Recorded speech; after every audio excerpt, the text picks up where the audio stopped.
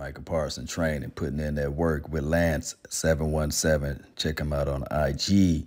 The four cone drill, transition straight, snapping inside, keeping everything the same.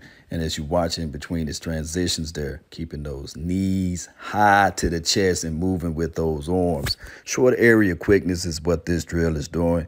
And if you look at his arms, you run more with your arms than anything, especially in these drills, but you want to keep your knees high. And of course, within your transitions of breaking downhill, you want to keep everything exactly the same. And on top of that, if you're talking about Parsons, who is a 4-3 guy, dangerous.